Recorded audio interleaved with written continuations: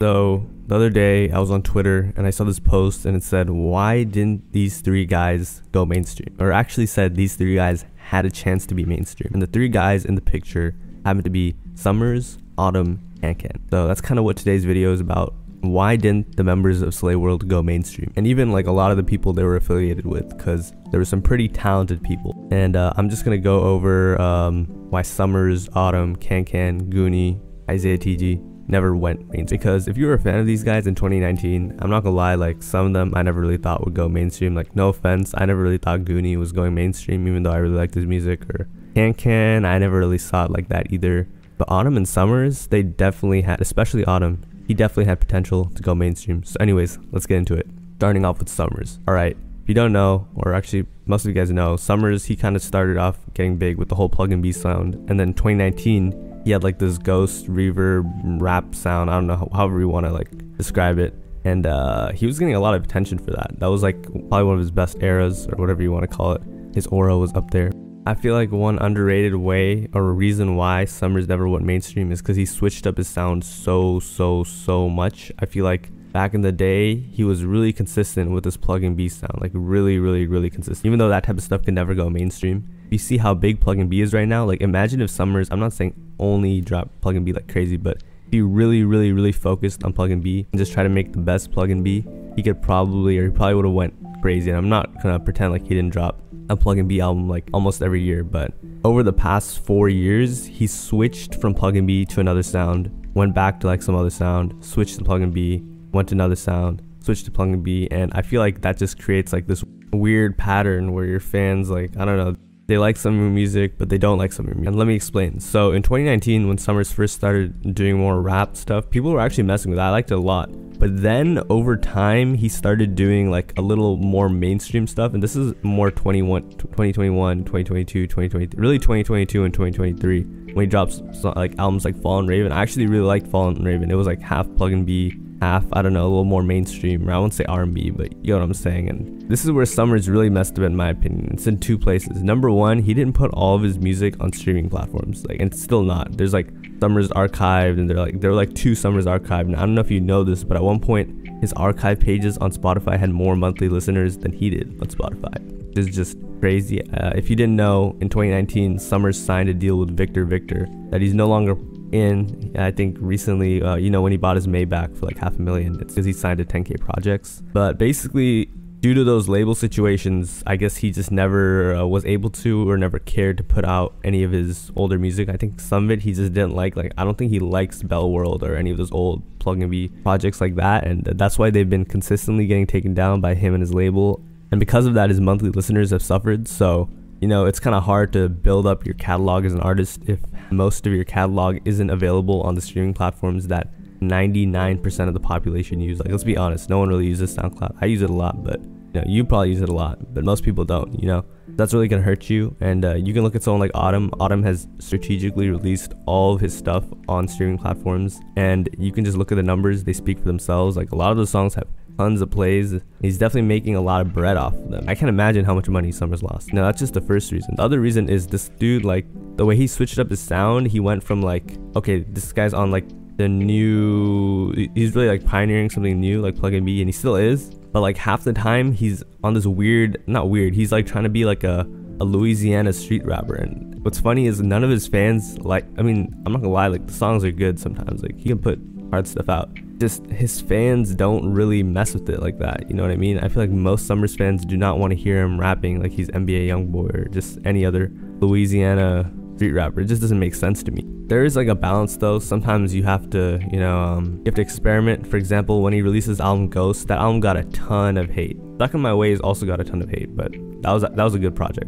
But Ghost got tons and tons and tons of hate. Like people were like, "Yo, all the beats sound the same." His mixing is trash. Just put out a bunch of BS. But there were actually some good songs on there. It's just that when people don't have something to expect from you, it's just hard for them to, you know, be excited about some new project. Truth. Especially when you're cycling between plug and B and and hopping on NBA YoungBoy type beats. Anyways, that's it for Summrs. I feel like it's pretty concise. There's not much else. Also, there's some allegations, you know, um, I'd say that, but I wouldn't really say that's like a massive reason. Like the other things are more important. Anyways, the next artist who had a chance to be mainstream but didn't go mainstream was Autumn. Autumn Arwick, Twin Uzis, whatever you want to call him. If you didn't know, back in the day, Autumn was going crazy on Plug and Be just with Summrs. He was doing his thing. Like I said, he made the smart move and, you know, stayed independent all the way until like 2021 and all of his stuff literally almost all of his music is on streaming platforms you know good for him. I think at one point he even took all his music off of soundcloud because he wasn't getting paid for his uh, music. And autumn is really about the bag like he's been driving clothes he's been doing all sorts of stuff. I think in january of 2024 he's already made a million or something. I don't know. That's just what he said not not for me He's definitely doing very, very, very well for himself financially. The funniest part is he doesn't even call himself rich, or I mean, he's he's always flexing, but like you know, Summrs is always like, man, look at my electricity bill, look at this. I'm, I guarantee you, Autumn has more money than him. But making a ton of money doesn't mean you want mainstream. And why didn't Autumn go mainstream? Because Autumn, out of all of the members in Slayworld, had the most mainstream sounds. So people were always like, man, I feel like one day Autumn could go mainstream. And uh, they were right. He really did have that sound. If you look at listen to some of his projects from like 2021, you can tell he was trying to go mainstream. I remember in 2020 when he dropped Ils Verront, like that song really showed me and a lot of people that wow, Autumn can really uh, he can go. Uh, he has that mainstream sound, and I guess he tried for a little bit. Uh, you know, he dropped Solitary, which is more rap. He dropped Antagonist, which that wasn't really like mainstream. It was kind of him hopping on like the Yeet wave, which I think he thought would make him go mainstream, but most fans didn't really like it. I, I kind of liked it. It was alright. There was some cool songs on there. And then he just kept dropping Plug and Be, which was good because that's what his fans wanted. And he was one of the only ones who was like really doing it right and just making good Plug and Be because there's a ton of like clone music out there. His album Midnight Club, that was also like alright.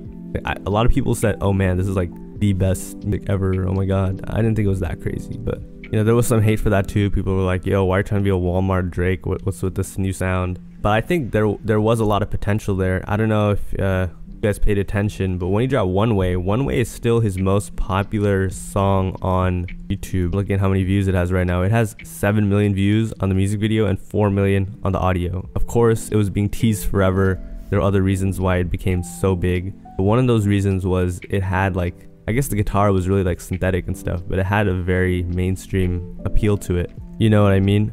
And if you go on a Spotify, it's also his most um, streamed song, 46 million, but still the same at a close second, 42 million. And he only has 1.1 million monthly listeners, which if you look at Summrs, everyone dogs on Summrs for not going mainstream, but Summrs has 1 million monthly listeners. And most of his music is not on streaming platform. But I feel like Summrs was always like way bigger than Autumn to me. So why didn't Autumn go mainstream? I think he just didn't have what it takes to be honest. Because it's not easy to drop like R&B. Because when you're dropping R&B, you're competing with like real R&B or other you know mainstream artists. Not just R&B, just like whatever you'd categorize Autumn's mainstream music as. And I feel like he just had to really lean into it, and he couldn't do that and also do the plug and be stuff that he's doing. And I feel like he'd rather just drop that because that's what he's really good at.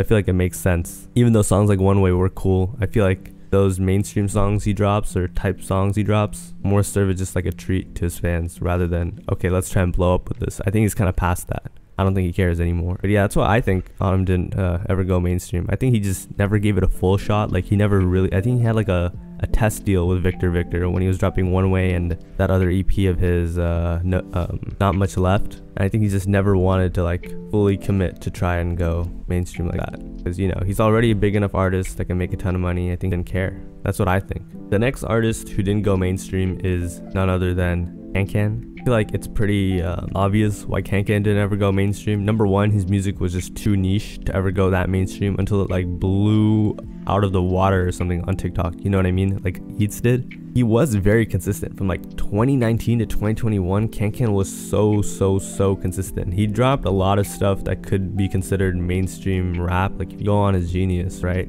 You see the projects he's dropped. Everything from like fast cars and codeine to like way too geeked is pretty solid. I'm not gonna lie. He had some good EPs before that too, like Can Can, um, Can Gianni, hashtag before Can 3. Like, you know, he had a lot of good projects. He had a lot of great singles, you know, but he just never. I don't think anyone ever thought Kankan was gonna go mainstream, to be honest. So I don't, I, I won't really say like he failed or he didn't do what could have done or he did anything wrong to be honest because he's doing more than fine like i said in this other video i think that he just made whatever type of music he wanted to make if you look at his biggest songs they're like woke up None to Me, GTA. Some of his songs with Yeat, like X and Oxy, F the Clout, Going to Hell. Oh, I remember everyone loved that Kankan song. That was like Kankan's fans' favorite song. But you know, he had his own, or he still has his own dedicated fan base, and he's a pretty big rapper. You know, like you look at his monthly listeners on Spotify. I don't even know how this is a thing. He has 2.4 million, dude. He, he has more than Summrs and Autumn combined, which is kind of wild to me. I don't know if you know this, but back in like 20, like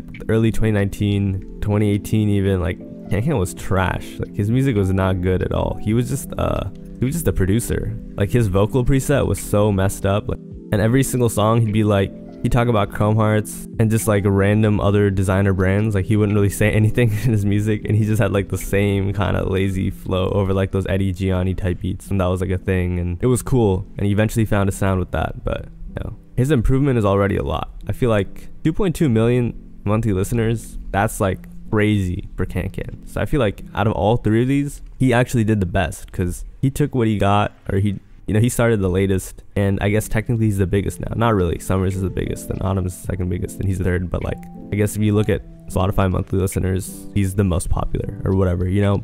And I feel like you can't even really make the TikTok song excuse because both Summrs and Autumn both have songs that went crazy on TikTok. So, you know, it is what it is. So why didn't Kankan go mainstream? I feel like his sound just didn't fit, just not the right right thing. You know, like there's only space for one Yeat really, and Yeat's not even doing that sound. So you know, there can't be that many like experimental SoundCloud rappers that are doing numbers like that. Now I'm gonna go over some of the smaller members that, and I'm not gonna talk about everyone. I'll talk about some of the small ones. Okay, fine. Alexander Prey. I'm not gonna lie, like he had some good music, but uh, he just, I don't know, he's not really. He after Slayworld fell apart, he just wasn't really connected with them, and it kind of fell off. Frank's Last Day. Uh, I think Last Day is like their collective now instead of Slayworld. He's still cool with Isaiah TG. He dropped some cool plug and beat stuff. I wish he just stuck with like the plug, plug and beat. He has a really good EP with um, 30 Nick. Really good EP with 30 Nick. Go check that out. He has some other good music. Cool R&B artist. But, you know, I wouldn't say he fell off. He's just doing all right. Then we got Goonie. Goonie, he was uh, he was actually like putting up some serious numbers. Every time he dropped from like 2019 to 2021 even 2018ish because he has some old songs with like um, numbers and stuff that became really big. But uh yeah he just never ever ever went that hard. Like he just doesn't drop. Like even now like everyone will be like yo goonie when are you gonna drop? Oh wait that was my roommate. He just uh I'll close the door scared me for a second. And he just like never dropped. Even now he has like a wife or not a wife he has like a his girl's pregnant. And he's just got other priorities in life. Like music has never been the thing where he's been like, man, I need to go crazy with this, dude. I need to run it up. You know, he just never, uh, he just never did it. I guess he just never cared that much. So that's why he didn't go mainstream. Because he's very talented, you know, and he could hop on all sorts of types of types of beats. Like he would hop on like those guitar Gunna type beats. He'd hop on everything. Yeah, Goonie, I wouldn't say it's wasted potential, but he could definitely be bigger. I'm not even saying mainstream. He just deserves more than what he's got right now. But I think he's content with where he's at, so that's fine. And finally, Actually, no. There's one other guy. This guy named Endo. I don't know if you know about him. He was more of a producer for Slayworld, but he was also an artist, and he's still like super small. I'm not gonna lie. Like no one really knows. Most, if you ask most of these fans these days, like they don't even know who Endo is. You know what I mean? Uh, and there's one more, Isaiah TG. I'm just gonna keep it short because uh, I don't know. He doesn't really want to be associated with them, but he was. He was part of Slayworld for a while. If you didn't know, Kankan actually begged him to be in the Slayworld group chat or something. He went on an interview and just spazzed on him. But basically, Isaiah TG, I feel like he never went mainstream because his sound is just way, way, way too niche. I think that's fine. I feel like having niche artists with music that's very, very, very unique. Cool. And uh, yeah, Isaiah TG is actually like one of my my favorite artists. Like Plastic, that's one of my most played songs 2023. Not even close. Not even sorry. It's it. I don't know why I said not even close. It's one of my most really good he just has music that hits like crazy. Really cool sound. And uh, lastly, I want to say it's not really a bad thing that any of these artists didn't go mainstream. Like it would be kind of weird. Like imagine if all these guys went mainstream and started making like R&B or some super basic rap. I feel like no one would really mess with them like that. You know what I mean? So yeah, it's probably a good thing that they didn't go super mainstream or anything. They just stuck to their own thing. But anyways, thanks for watching. Have a nice day and uh, see you tomorrow.